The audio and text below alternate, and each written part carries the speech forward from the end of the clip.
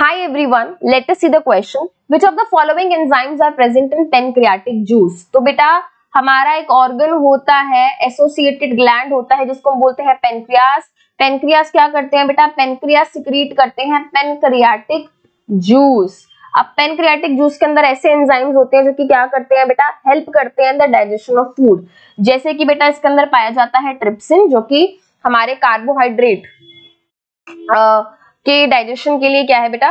Important है। उसके अलावा, अगर हम बात करें lipase lipase is responsible for the fat digestion sorry बेटा trypsin is responsible for the protein digestion and lipase is responsible for the fat digestion उसके अलावा बेटा, अगर हम बात करें सलाइवरी अमाइलेज ये हमारे पेनक्रियास के अंदर नहीं बेटा, ये हमारे माउथ के अंदर होता है राइट right? मतलब माउथ के अंदर सिक्रिएट होता है एंड ये हमारा पेनक्रियाज नहीं, ये हमारा सलाइवरी ग्लैंड सिक्रिएट करता है।